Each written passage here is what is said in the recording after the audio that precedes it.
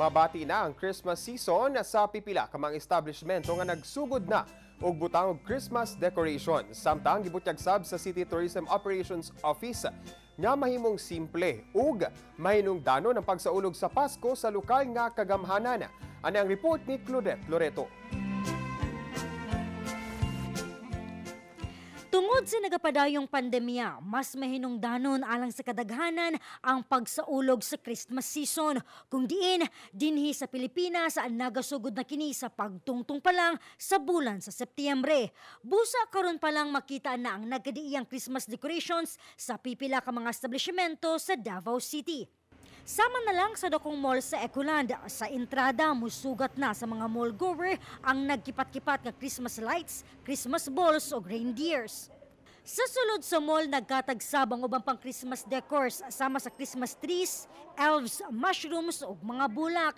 Sumala sa management sa mall, daghan pang mga dekorasyon ng ilang idugang o ang ilang centerpiece. Ilunsad nila karong Nobyembre kung diin color red ang ilang tema.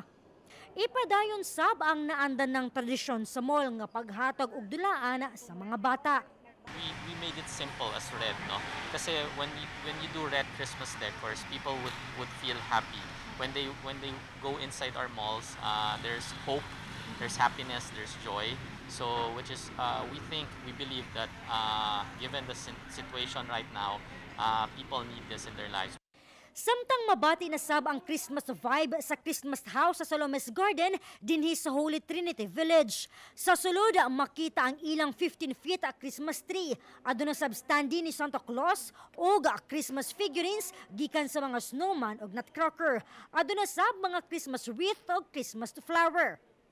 Pagbutig sa tagiyang si Sally San Jose, sukad 2008 pa siya nagsugod og pagkolekta og mga Christmas decors. Sa samang tuig saba namugna ang Christmas house. Abli ang Christmas house matag biyernes ug Sabado.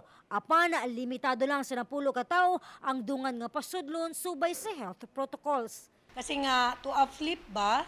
Kasi everybody's parang sad kung ano nangyayari sa akin, atin. So, I think it's really better na ah, to share lang na para maging masaya naman tayo. It's good to see di- na ah, Christmas na ang atmosphere because, you know, parang Christmas, iba talagang feeling. It brings happiness to everybody. Matag Pasko sa sab sa ginaatangan sa mga Davaoenyo og bisita ang enggrande nga Pasko Fiesta sa Davao City LGU. Apang tungod sa pandemya, mahimong simple ang selebrasyon. Sumala sa City Tourism Operations Office kung CTOO, padayon pang ginaplanuhan karon ang ipahigayon nga aktibidad nga pagabuhaton online. If we do celebrate, it's going to be very, very simple talaga. Pero for sure, we're going to have Christmas uh, decorations around the city. Magpapailaw po tayo.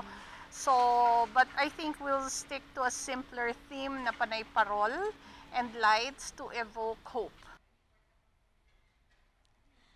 Karong pila na lang kabulan una ang Pasko, nagpahimang no ang Davao City Tourism Operations Office sa publiko nga walay problema ang pagsaulog sa Pasko.